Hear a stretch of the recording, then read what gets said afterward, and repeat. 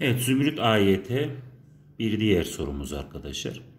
Bu soruda şuna dikkat etmenizi istiyorum. Bize diyor ki arkadaşlar aşıdaki şekil 20 tane birim kareden oluşturulmuştur. Buna göre sarı, mavi ve yeşil bölgelerin alanları toplamının birim kare cinsinden alabileceği en büyük tam sayı değeri nedir? Şimdi biz kesim bölgeyi bir bulalım arkadaşlar burada. Bakın şurada bir dikdörtgen var. Buranın alanı 3 birim karelerden oluştuğu için. Ve şurası da 3 birim dikkat ederseniz.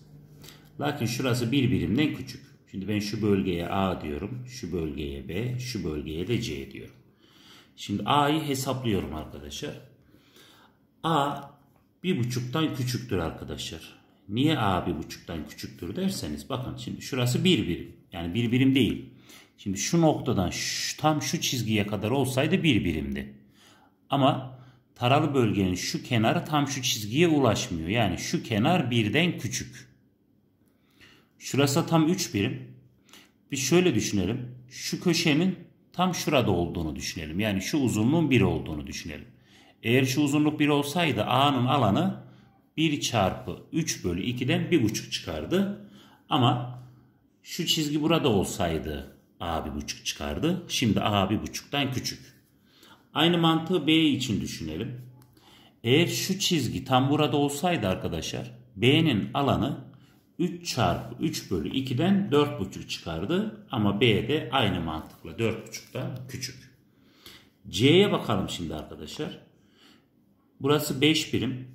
Şu çizgi tam burada olsaydı burası 2 olurdu. 5 çarpı 2 bölü 2'den de C5 çıkardı. Ama aynı mantıkla C5'ten küçük. Zaten e, şu alanda 3 çıktı arkadaşlar. Onu en son ekleriz. Şurayı bir hesaplayalım. Şu an için A artı B artı C kaçtan küçük oldu arkadaşlar? 6, 5 daha 11'den küçük oldu. Bize neyi soruyor?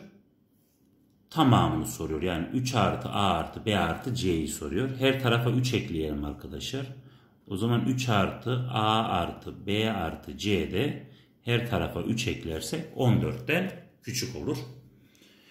En büyük nedir diyor? 14'ten küçük olduğuna göre de en büyük 13'tür arkadaşlar.